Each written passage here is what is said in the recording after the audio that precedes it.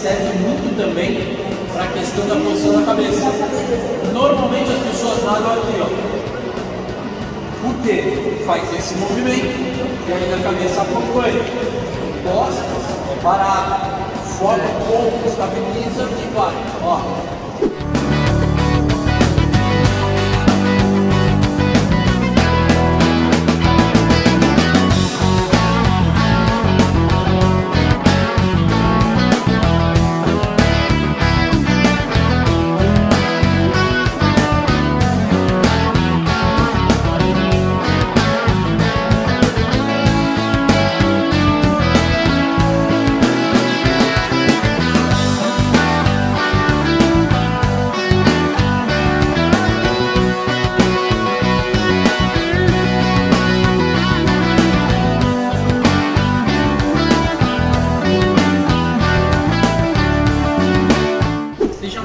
nadaram costas sentado? Ai. Com a prancha. Com a prancha. Sentado. Sentado. Trabalho de força e velocidade. Trabalho de força e velocidade. Às vezes, a gente faz trabalho de velocidade de 15 metros só. O atleta com, nadadeira e palmar. Então ele sai muito forte da borda. E como são só 15 metros, se- se- o objetivo não é o submerso, já sai da água e aí a potência. E para fazer isso, a gente fala para fazer sentado. Então ele bate perna muito forte e gira o braço muito forte. Parece que ele está se batendo na água. Tem que tomar cuidado. Quem tem problema no ombro, não dá para fazer, vai machucar. E quem tem problema de lombar também. Então é difícil de fazer. Porém, para criança é legal. Normalmente criança não tem esse problema.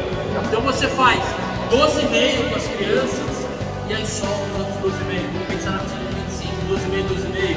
Ou 5 metros que seja. Põe a criança para sair, se bater na água mesmo, se bater mesmo. Fica aqui, ó, sentado, batendo o pé aqui, ó.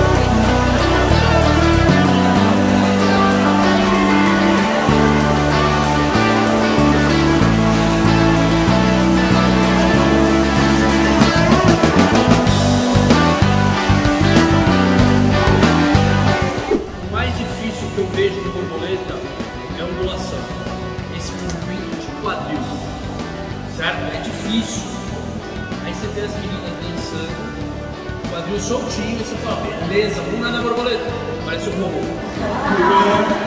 Assim, tamo na aula de dança, soltinha. Só o quadril. Um movimento, um exercício legal para fazer esse movimento é perna lateral. Perna de borboleta, de costas, é legal? É, mas você ainda fica meio robotizado. Perna lateral, se você fizer um movimento tiver na lateral, o quadril não vai ter que soltar, senão você não sai do lugar. Se você for meio robô de perna lateral, ele não sai. E aí você tem que soltar o movimento.